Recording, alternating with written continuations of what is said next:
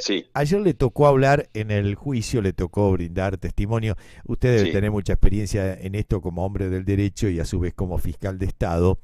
Sí, Eh, en esta causa, a ver, pongo un poquito en contexto a la audiencia porque eh, sería lógico que no, no tenga muy presente de qué se trata.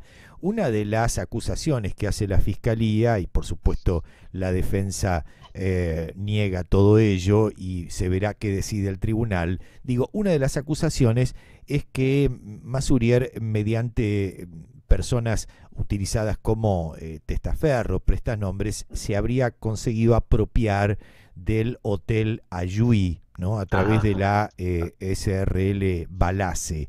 Y, y claro, todo ello en un contexto en el que él eh, se desempeñaba a su vez como titular de la CODESAL, un organismo Claro. provincial que hipotéticamente, y acá viene la pregunta fundamental para, para hacerle a usted, una, una- un organismo que, digamos, hipotéticamente había quedado con responsabilidades a cargo como poder concedente eh, a partir del comodato firmado con el Estado Nacional y con claro, CTM. claro, claro. Eh, a ver, la pregunta fundamental para mí es, Sí, ¿efectivamente pasó a manos de la provincia a través de Codesal mediante ese comodato el Hotel Ayui? ¿O nunca pasó? ¿O pasó más Bien. tarde? A ver. mire, mire, usted acaba de aclararme para qué fui testigo ayer, porque recién a través de su de su este, explicación entiendo por qué la defensa me ofreció como testigo y por qué el fiscal me hizo las preguntas que me hizo. Recién ahora, Waldo, francamente. No, no, no, no. No, Porque- me, está- me no, están no, bromando, porque yo- Julio. Yo no estaba enterado de la, no estaba enterado del, de Ajá. cuál era el objeto de la acusación. Simplemente a mí se me preguntó por lo que usted me dice que es el Hotel Ayui. Ok. Así que yo respondí exclusivamente este, respecto a la situación de la provincia con respecto al, al Hotel Ayui.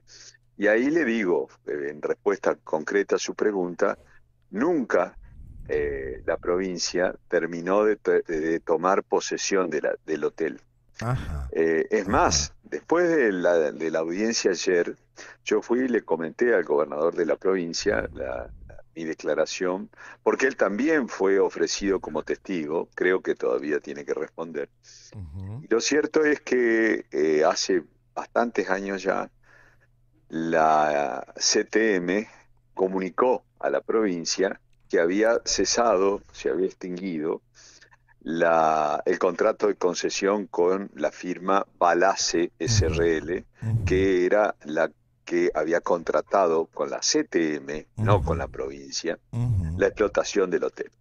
Entonces, yo conocía eh, el hotel desde mucho tiempo, de 1987 o antes incluso ya lo conocía.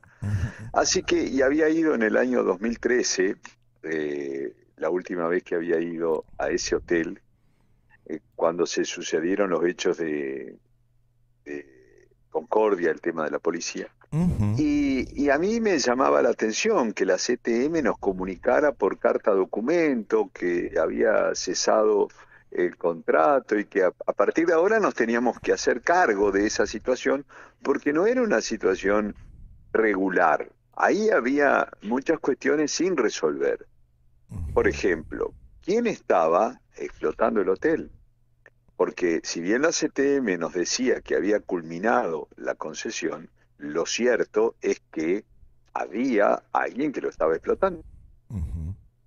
Lugar. En, se- en segundo lugar, eh, ese hotel tenía, había que hacer un inventario, había que ver, en fin, un sinnúmero de cosas que yo le aconsejé al Poder Ejecutivo que no, no, no aceptáramos esa transferencia inmediata o automática sin antes hacer una serie de diligencias. ¿Qué se hicieron?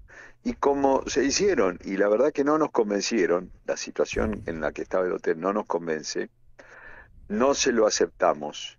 Y el gobernador nunca dictó un decreto haciéndose cargo o aceptando la incorporación al, al, comodato y a la administración de la provincia de ese hotel.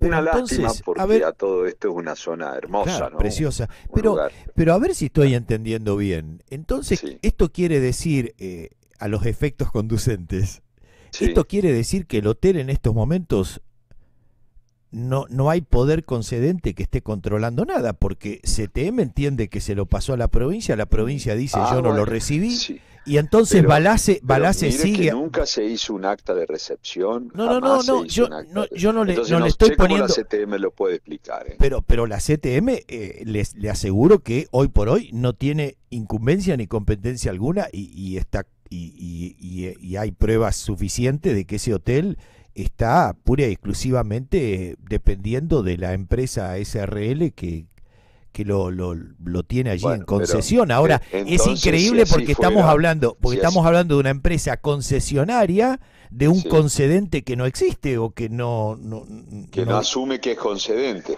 Eh, eh, claro, la, la, concesión se la dio la CTM, de esto no cabe ninguna duda, el contrato es con la CTM, eh, por eso cuando el señor fiscal Arias, creo que el apellido, me preguntó si yo sabía quién era Balace o, quién debí, o que debía saber quién era Balace, le dije que no, porque nunca la provincia contrató con Balace. Balace es una empresa con, con como usted define, concesionaria de CTM. Ahora, eh, deténgase y, si hoy están administrando el hotel, es un problema de la CTM no de la provincia, porque no está en el sistema provincial, no está entre los bienes eh, administrados por algún organismo de la provincia de Entre Ríos. Sí otros lugares que sí están en el comodato, como el predio La Tortuga Alegre, u otros lugares que sí están integrados al comodato, no hay duda. Incluso hay este hay algunas investigaciones del Tribunal de Cuentas y algunas rendiciones pendientes todavía. Eh, Julio, la, acusación, la acusación, eh, entiendo que lo que sostiene es que eh, había un contrato firmado de comodato que en el caso puntual, no así la Tortuga Alegre que mencionó usted, los otros camping, pero en el caso puntual del Hotel Ayui y entiendo que también del Camping Las Palmeras, como estaban concesionadas por Salto Grande a manos privadas, había, o sea, la cláusula indicaba que cuando finalizaba el contrato de concesión, que creo que en el caso del hotel era el año 2012, automáticamente, eso es lo que esgrime como argumento eh, fiscalía, ¿no? Automáticamente ahí sí se ejecutaba el traspaso en comodato de nación a provincia. y usted entiende que no, que esa automaticidad no existió.